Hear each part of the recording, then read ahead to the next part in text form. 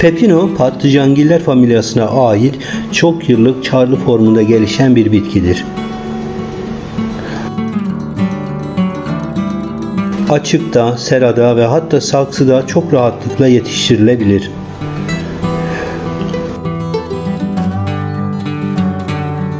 Pepino yetiştiriciliğinde toprak istekleri çok olmayıp her toprakta rahatlıkla yetişebilir.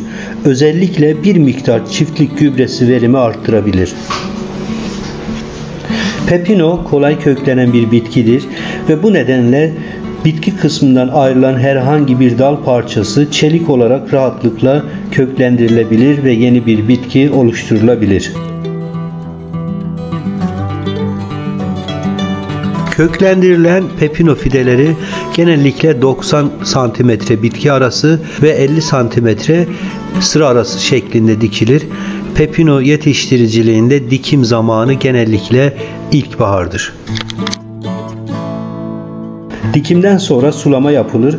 Toprak özelliklerine göre 3-4 günde bir sulanması yapılmalıdır.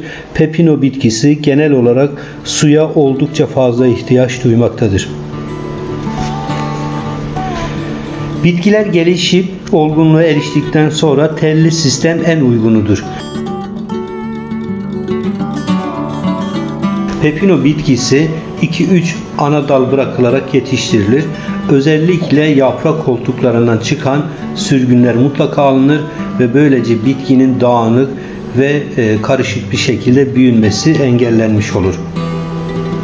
3-4 dal üzerinde büyüyen pepinolarda zaman zaman yan dalların budaması da yapılarak hava ve ışık alması da sağlanır. Yine pepino salkım şeklinde 7-8 çiçek vardır ve meyve seyretme yapılmalıdır. 3-4 meyve bırakılmalı ve bu meyveler ceviz büyüklüğündeyken budaması gerçekleştirilir. Hem çiçek hem de yaprak özellikleri ve yine meyve üzerindeki Temmuz Ağustos ayında da pepinoda hasat yapılır. Yaklaşık 4 ay sonra hasat olgunluğuna ulaşmış olur. patlıcanla akraba olan Hasat zamanının geldiğini bitkinin sarı zemin üzerinde kahverengi çizgiler oluşmasıyla tespit edilir. uygun. Şimdi bu meyvelerde biraz Bir pepino fidesinde 9 ile 12 adet meyve alınır ve toplamda 3-4 kilogram e, ürüne tekabül eder. Pepino yetiştiriciliğinde 1 metrekare alana 2200 fide dikilir ve dönümden yaklaşık olarak 7-8 ton ürün alınır.